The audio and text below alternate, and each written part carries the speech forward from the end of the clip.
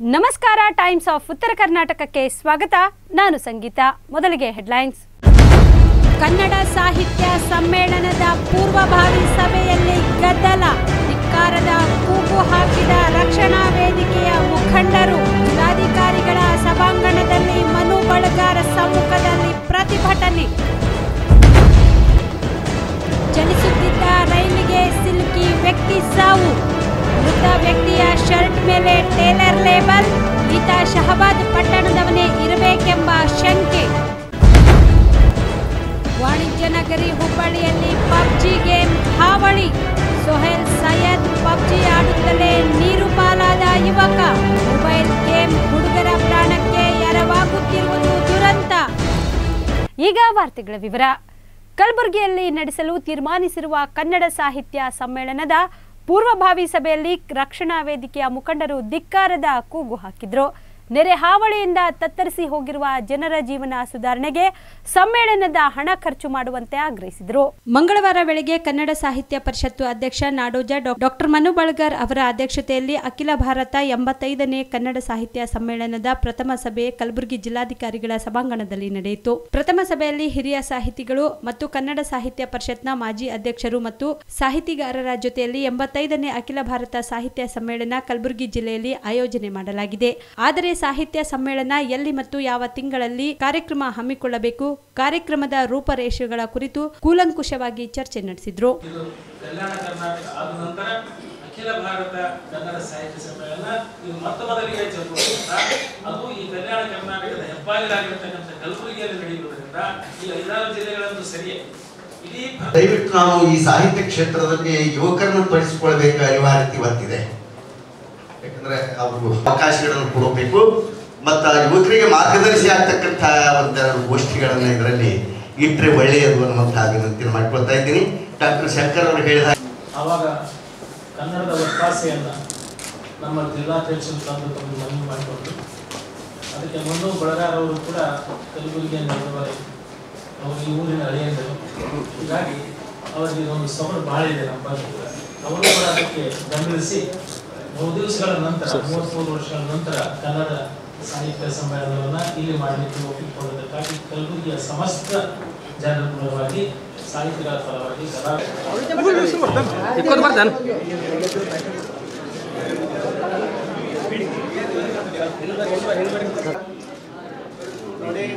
ವಿಶೇಷವಾಗಿ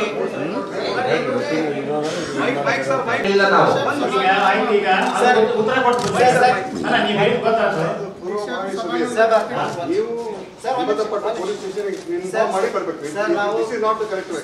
ಏನ್ ಮಾಡ್ತೀವಿ ಅಲ್ಲ ಏನ್ ಮಾಡೋದಕ್ಕೆ ಅವಕಾಶ ಕೊಟ್ಟಿರೋ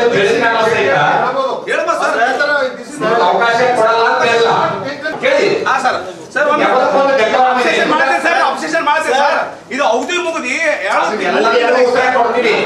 ಮೂರು ತಿಂಗಳ ಸರ್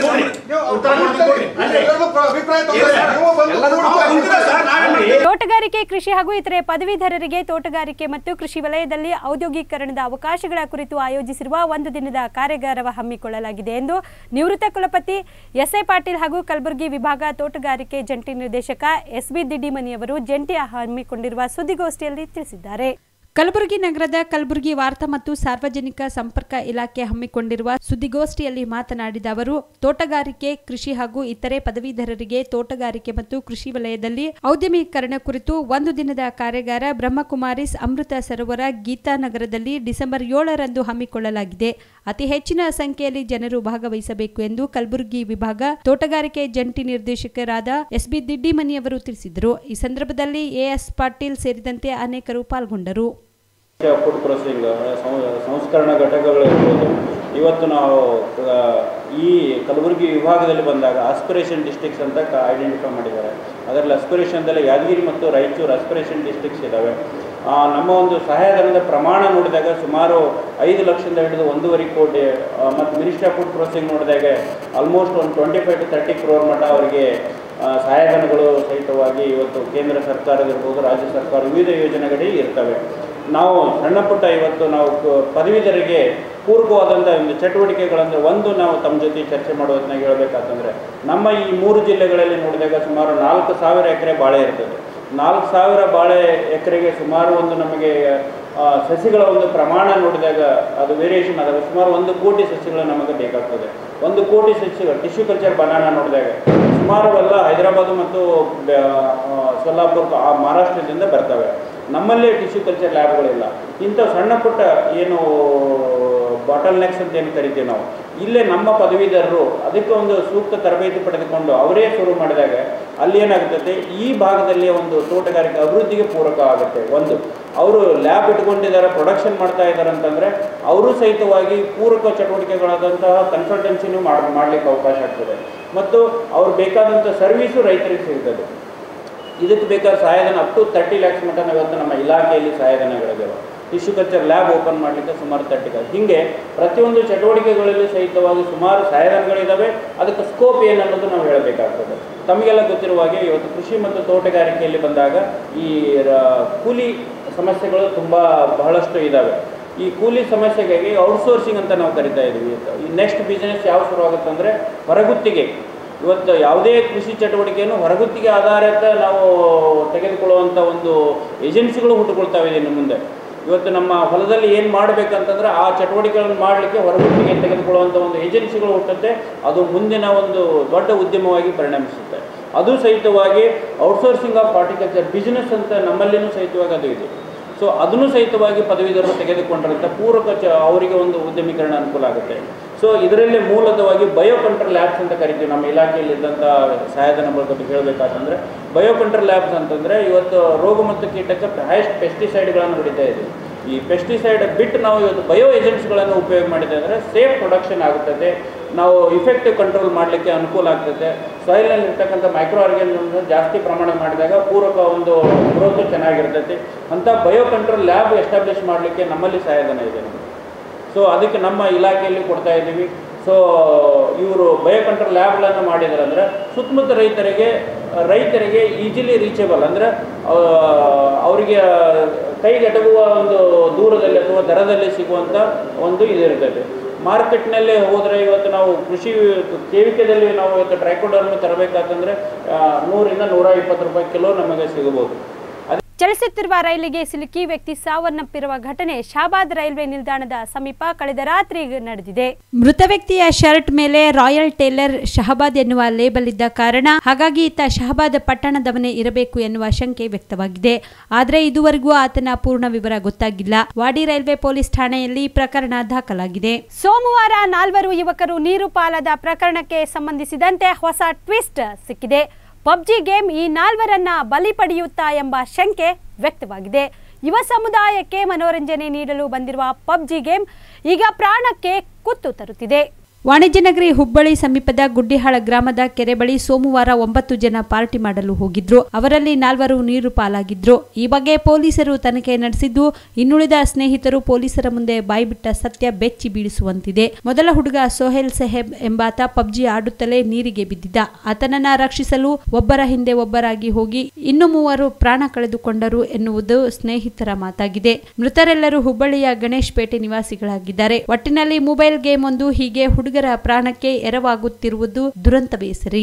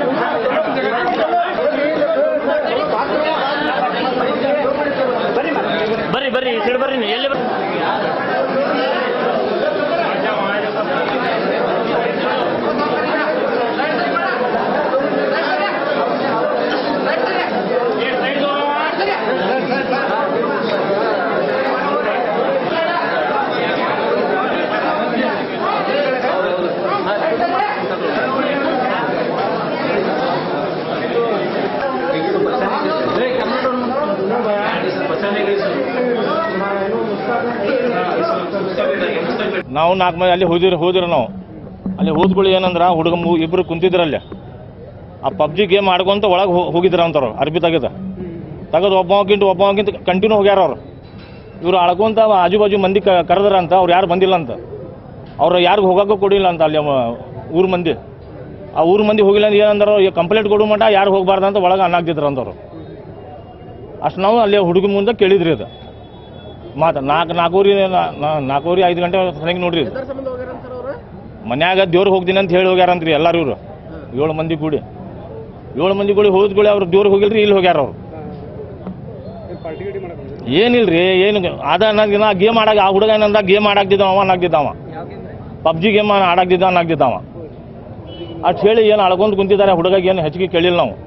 ಆ ಹುಡುಗನ ಹೇಳಿದ ಹಿಂಗೆ ಹೊಂಟ ಇಲ್ಲೇ ಹೋಗ್ಯಾರ ಅವ್ರು ಎಲ್ಲರೂ ನಾಲ್ಕು ಮಂದಿ ಹಿಂಗೆ ಹೋಗ್ಯಾರ ಅನ್ನಾಗ್ತಿದ್ದಾವ ಆ? ಇದು ಇದು ಸೂಟಿ ಮಾಡಾಗಂತ ಸ ಇಬ್ಬರು ಇಬ್ರು ಮಾಲ್ ಕೆಲ್ಸಕ್ಕೆ ಹೋಗ್ತಾರೆ ಅವ್ರು. ಅದು ಏನಾಗಿದೆ ದೇವ್ರಿಗೆ ಗೊತ್ತೈತಿ ನಮ್ಮ ನಮ್ಮ ಹೆಸರು ಮೊಹಮ್ಮದ್ ರಫೀಕ್. ಅವ್ರು ಒಬ್ಬ ಮಾಲ್ದಾಗ ಹೋಗ್ತಿದ್ದಾರೆ ಮತ್ತಿಬ್ರು ಏನು ಮಾಡ್ತಿದ್ರು ಗೊತ್ತಿಲ್ರಿ. ಆ ನನ್ನ ನಮ್ಮ ತಂಗಿ ಮಗಾರಿ ಅವ ಸಣ್ಣವ ಅವನ ಹೆಸರು ಜುನೇದ್ ರೀ. ಅವ್ರು ಮೂರು ಮೂರು ಮಂದಿ ಹೆಸರು ಗುರುತಿಲ್ಲ ಅವ್ನಿಗೆ ತಿನ್ನ ನಮಗೆ ಯಾವ? ಅವ್ರ ಹೆಸರು ಗುರುತಿರಿ ನೀವು ನಮ್ಮ ನಮ್ಮ ತಂಗಿ ಮಗ ಅವ. ಇದು ದೊಡ್ಡ ದೊಡ್ಡ ದುರ್ಘಟನೆ ಇದು. ಇವರು ನಾಲ್ಕು ಫ್ರೆಂಡ್ಸ್ ಇವರು. ಇವರು ತಿಳ್ಕಂಡು ಹೆಕ್ಕಲ್ಲಿ ಹುಡ್ರಲ್ಲ ಒಂದೇ ವಯಸ್ಸಲ್ಲ ಹುಡ್ರಿ ಇವು ಅಲ್ಲಿ ಕೇಕ್ ಕಟ್ ಮಾಡಿ ಎಲ್ಲ ಕೂಡಿ ಎಂಜಾಯ್ ಮಾಡಲಿಕ್ಕೆ ಅಲ್ಲಿ ಹೋಗಿದ್ದಾರೆ. ಒಬ್ಬರು ಇದಾಗ ಹೋಗ್ಯಾನ, ಅಲ್ಲೇ ಮುಣಾಕ್ ಹತ್ತಿದ್ದ ಇವರು ಉಳ್ಸಾಕ್ ಹೋಗಿ ಮೂರು ಮಂದಿ ಜಂಪ್ ಮಾಡ್ಯಾರ ಮೂರು ಮಂದಿ, ನಾಲ್ಕು ಮಂದಿ ಎಲ್ಲ ಹೋಗಿ ಇವ್ರಿಗೂ ಈಸಾ ಬರಂಗಿಲ್ಲ ಇವ್ರಿಗೆ ಹೋಗಿ ದುಡ್ಡನ್ನಾಗೈತಿ ಭಾಳ ದುಡ್ಡು ಗಟ್ಟ ಅಂದರೆ ಇದು ನಾನು ಕೇಳ್ಕೊತೇನೆ ಇಲ್ಲ ಅವ್ರು ಮನೆ ಮನೆಯವ್ರಿಗೆ ಎಲ್ಲರಿಗೂ ಇದು ಶಾಂತಿ ಇರಲಿ. ಯಾಕಂದರೆ ಇದು ಘಟನೆ ಆಗೈತಿ ಈ ಘಟನೆ ಆಗಿದೆ, ಎಲ್ಲರೂ ನಾವು ಈಗ ಕೇಳಿ, ನಾವು ಅಂಜುಮನ್ನ ಡಿಪ್ಲೊಮಾ ಕಾಲೇಜಿನಾಗಿದ್ವಿ ನಾವು ಕೇಳಿದ್ರೆಲ್ಲ ಅಂಜುಮನ್ ಸಂಸ್ಥೆ ಎಲ್ಲ ಬಂದಿದ್ದಾರೆ. ನಾವು ಏನು ಸಹಾಯ ಮಾಡೋಕ್ಕೆ ಈಗ ಯಾರು ಏನು ಸಹಾಯ ಮಾಡೋಕ್ಕೆ ಬರಂಗಿಲ್ಲ. ಯಾಕಂದರೆ ಆಲ್ರೆಡಿ ಡೆಡ್ ಸರ್ಟಿಫೈಡ್ ಮಾಡಿದ್ದಾರೆ ನೋಡಿದ್ದೀವಿ ನಾವು. ಏನೂ ಇಲ್ಲ. ಎಲ್ಲರೂ ಭಾಳ ತಾಪ ಆಗೈತೆ ನಮಗೂ ಇವತ್ತು. ಹಬ್ಬ ನಿನ್ನೆ ಹಬ್ಬ ಆಚರಣೆ ಮಾಡಿ ಚಲೋ ಹಬ್ಬ ಆಯಿತು. ಇದು ಆಗಬಾರ್ದಿತ್ತು ಆಗೈತಿ. ಅದು ದೇವ್ರ ಇಚ್ಛಾ ಆಗೈತಿ. ಎಲ್ಲರೂ ಸಂತಾಪನ ನಾವೆಲ್ಲ ಪಾಲ್ಗೊಡ್ತೀವಿ ಎಲ್ಲರೂ ಸಮಾನದಿಂದ ಇದಕ್ಕೆ ಕಾರ್ಯಕ್ರಮ ಮುಗಿಸ್ಬೋದು ನಾವು ವಿಚಾರ ಮಾಡ್ತೀವಿ. ಅವ್ರು ಇನ್ನೂ ಕರೆಕ್ಟಾಗಿ ಇಮ್ರಾನ್ ಒಬ್ಬ ಸುಬಾನ್ ಇಲ್ಲ ನಾಲ್ಕು ಮಂದಿ ಐದು ಜನ ಹೋಗಿದ್ರು ಟೋಟಲ್ ಐದು ಮಂದಿ ಟೋಟಲ್ ಐದು ಜನ ಹೋಗಿದ್ರು. ನಾಲ್ಕು ಹೋಗಿದ್ದು ಇವರು ಮೂರು ಗಂಟೆಗೆ ಹೋಗಿದ್ರು. ಇವತ್ತು ಇವತ್ತು ಮೂರು ಗಂಟೆ ಹೋಗಿ ಇವತ್ತು ಮೂರು ಕೇಕ್ ಕಟ್ ಮಾಡಿ ಆಗಿ ಹೋಗಿ ಹೋಗಿದ್ದಾರೆ ಎಂಜಾಯ್ ಮಾಡಿ ಹೋಗಿದ್ದಾರೆ ಆ ಟೈಮ್ ಅದು. ಈಗ ಬರ್ತಡೇ ಇದ್ದವರು ಹೋಗಿದ್ದಾರೆ ತೀರ್ಕೊಂಡ್ರೆ ಸರ್ ಅವರು. ಇನ್ನು ಬರ್ತ್ಡೇ ಇದೆ ಇಲ್ಲ ಬರ್ತ್ಡೇ ಇದೆ ಕ್ಲಿಯರ್ ಇಲ್ಲ ಅದು. ಗೊತ್ತಿಲ್ಲ ಕ್ಲಿಯರ್ ಇಲ್ಲ. ಬಟ್ ಕೇಕ್ ಕಟ್ ಮಾಡಿ ಹೋಗಿದ್ದಾರೆ ಅಂತ ನಮ್ಗೆ ಸುದ್ದಿ ಬಂತು. ಕುಲಕರ್ಣಿಯಕ್ಕಲ್ ಗಣೇಶ್ ಪೇಟೆ ಇದು ಇದು ಹೇಳಿ ನಾವು ಓಡ್ ಬಂದಿವಿ. ಮಹಾರಾಷ್ಟ್ರದಲ್ಲಿ ಶಿವಸೇನೆ ಜೊತೆ ಕೈ ಜೋಡಿಸುವ ಕುರಿತು ಕಾಂಗ್ರೆಸ್ನಿಂದ ಇನ್ನೂ ನಿರ್ಧಾರ ಆಗಿಲ್ಲ ಎಂದು ಮಾಜಿ ಸಿಎಂ ಸಿದ್ದರಾಮಯ್ಯ ಮಂಗಳವಾರ ಹೇಳಿದ್ದಾರೆ. ವಿಜಯಪುರದಲ್ಲಿಂದು ಸುದ್ದಿಗೋಷ್ಠಿಯನ್ನು ಉದ್ದೇಶಿಸಿ ಮಾತನಾಡಿದ ಅವರು, ಬೈ ಎಲೆಕ್ಷನ್ನಲ್ಲಿ ಕಾಂಗ್ರೆಸ್ ಹದಿನೈದು ಸ್ಥಾನ ಗೆಲ್ಲುತ್ತವೆ ಎಂದು ನಾವು ಹೇಳಿಲ್ಲ. ದೇವೇಗೌಡರು ಯಾಕೆ ಹಾಗೆ ಹೇಳಿದ್ದಾರೋ ಗೊತ್ತಿಲ್ಲ. ಹನ್ನೆರಡು ಸ್ಥಾನ ಗೆಲ್ಲುತ್ತವೆ ಎಂದು ಹೇಳಿದ್ದೇನೆ ಎಂದು ಅವರು ಸ್ಪಷ್ಟನೆ ಕೊಟ್ಟಿದ್ದಾರೆ. ಇನ್ನು ಬಿಜೆಪಿ ಜೊತೆ ಜೆಡಿಎಸ್ ಒಳ ಒಪ್ಪಂದ ಮಾಡಿಕೊಂಡಿರುವ ಶಂಕೆ ಇದೆ. ಸಮ್ಮಿಶ್ರ ಸರ್ಕಾರ ರಚಿಸುವಾಗ ಕಾಂಗ್ರೆಸ್ ಹಿರಿಯ ಮುಖಂಡ ಮಲ್ಲಿಕಾರ್ಜುನ ಖರ್ಗೆ ಅವರಿಗೆ ಸಿಎಂ ಸ್ಥಾನ ನೀಡಲು ತಾವು ವಿರೋಧಿಸಿಲ್ಲ. ದೇವೇಗೌಡರು ಯಾಕೆ ಹಾಗೆ ಹೇಳಿದ್ದಾರೆ ಗೊತ್ತಿಲ್ಲ. ಸಮ್ಮಿಶ್ರ ಸರ್ಕಾರ ಒಪ್ಪಂದ ಮಾಡುವಾಗ ನಾನು ಆ ಸಭೆಯಲ್ಲಿ ಇರಲಿಲ್ಲ ಎಂದರು. ಸದ್ಯ ಹೈಕಮಾಂಡ್ ಸೂಚನೆ ಹಿನ್ನೆಲೆಯಲ್ಲಿ ಜೆಡಿಎಸ್ ಜೊತೆ ಸರ್ಕಾರ ರಚನೆಗೆ ಒಪ್ಪಿದೆ. ಉಪಚುನಾವಣೆ ವಿಚಾರದಲ್ಲಿ ಊಹಾಪೋಹ ಜಾಸ್ತಿಯಾಗಿದೆ. ಬಾಕಿ ಏಳು ಕ್ಷೇತ್ರಗಳಿಗೆ ಶೀಘ್ರದಲ್ಲಿ ಕಾಂಗ್ರೆಸ್ ಅಭ್ಯರ್ಥಿಗಳ ಆಯ್ಕೆ ನಡೆಯಲಿದೆ ಎಂದು ಸಿದ್ದರಾಮಯ್ಯ ಅವರು ಹೇಳಿದರು. ಉಪಚುನಾವಣೆ ನಡೆಯಲಿರುವ ಹದಿನೈದು ವಿಧಾನಸಭಾ ಕ್ಷೇತ್ರಗಳಿಗೆ ಟಿಕೆಟ್ ನೀಡುವ ಕುರಿತು ತಲೆಗೊಬ್ಬರಂತೆ ಮಾತನಾಡಬಾರದು ಎಂದು ಸಚಿವ ಹಾಗೂ ಬಿಜೆಪಿ ಮುಖಂಡರಿಗೆ ಮುಖ್ಯಮಂತ್ರಿ ಬಿಎಸ್ ಯಡಿಯೂರಪ್ಪ ಕಟ್ಟುನಿಟ್ಟಿನ ಸೂಚನೆ ಕೊಟ್ಟಿದ್ದಾರೆ. ನಾಳೆ ಸುಪ್ರೀಂ ಕೋರ್ಟ್ನಲ್ಲಿ ಅನರ್ಹ ಶಾಸಕರ ತೀರ್ಪು ಹೊರಬೀಳಲಿದೆ. ನ್ಯಾಯಾಲಯ ತೀರ್ಪು ಬಂದ ಬಳಿಕವಷ್ಟವೇ ಟಿಕೆಟ್ ನೀಡುವ ಕುರಿತಾಗಿ ತೀರ್ಮಾನವಾಗಲಿದೆ. ಅಲ್ಲಿಯವರೆಗೂ ಯಾರೊಬ್ಬರು ಮಾಧ್ಯಮಗಳ ಮುಂದೆ ಬಾಯಿಗೆ ಬಂದಂತೆ ಮಾತನಾಡಬೇಡಿ ಎಂದು ಕಟ್ಟಪ್ಪಣೆ ವಿಧಿಸಿದ್ದಾರೆ. ಯಾರಿಗೆ ಯಾವ ಕ್ಷೇತ್ರದಲ್ಲಿ ಟಿಕೆಟ್ ನೀಡಬೇಕು ಎಂಬುದರ ಕುರಿತು ಪಕ್ಷದ ವರಿಷ್ಠರು ತೀರ್ಮಾನಿಸಲಿದ್ದಾರೆ. ವರಿಷ್ಠರ ತೀರ್ಮಾನವೇ ಅಂತಿಮವಾಗಲಿದೆ. ಅನರ್ಹರಿಗೆ ಟಿಕೆಟ್ ನೀಡುವ ಕುರಿತಂತೆ ಸ್ಥಳೀಯ ಮುಖಂಡರು ಹೇಳಿಕೆ ನೀಡುವ ಅಗತ್ಯವಿಲ್ಲ ಎಂದು ಬಿಎಸ್ವೈ ಸೂಚನೆ ಕೊಟ್ಟಿದ್ದಾರೆ. ಸ್ಥಳೀಯ ಸಂಸ್ಥೆ ಚುನಾವಣೆಯಲ್ಲಿ ಉಪಚುನಾವಣೆ ಮೇಲೆ ಪ್ರಭಾವ ಬೀರುವುದಿಲ್ಲ.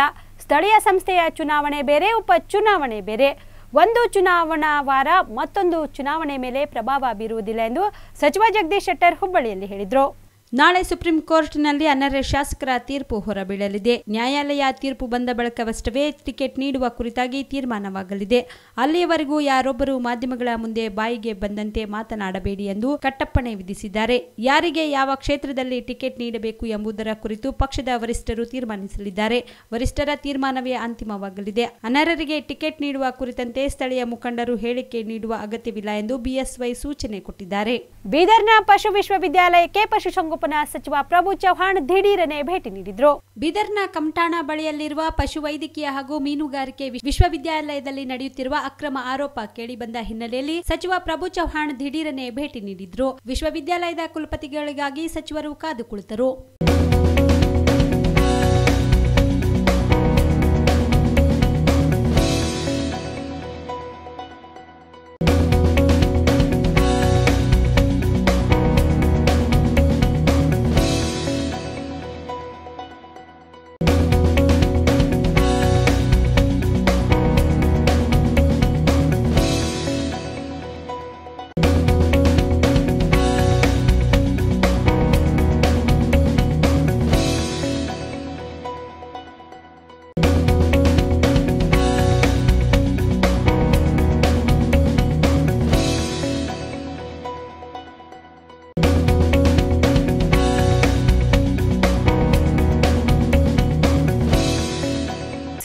ಶಿವಸೇನೆಯು ಬಾಳಾಸಾಹೇಬ್ ಠಾಕ್ರೆ ಅವರ ಅಂತ್ಯದ ನಂತರ ಅವರಿಗೆ ಅಸ್ತಿತ್ವ ಬಂದಿದ್ರೆ ಅದು ನರೇಂದ್ರ ಮೋದಿ ಅವರ ಕಾರಣದಿಂದ ಎಂದು ಸಚಿವ ಪ್ರಹ್ಲಾದ್ ಜೋಶಿ ಹುಬ್ಬಳ್ಳಿಯಲ್ಲಿ ಹೇಳಿದ್ರು.